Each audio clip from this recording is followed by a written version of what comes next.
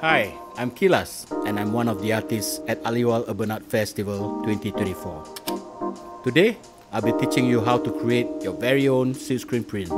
Let's get started.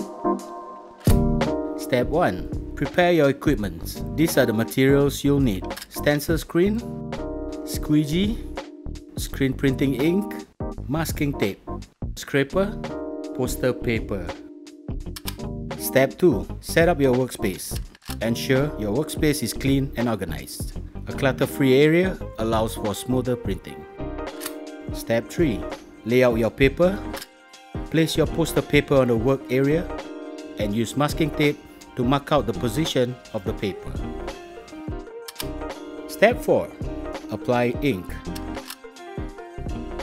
Apply a generous amount of ink onto the top of the screen evenly. Step 5. Align the silk screen. Position the silk screen over the poster paper, ensuring it's correctly aligned for precise printing. Step 6. The ink pull through. Using the squeegee, pull the ink across the screen, transferring the artwork onto the surface. Apply consistent pressure for a clean print. Repeat the pull to ensure the ink is evenly distributed. Step 7. The finished product. Peel off the poster paper from underneath the screen. And there you have it, silk screen printing made simple. Bring your designs to life with this versatile printing technique and have fun.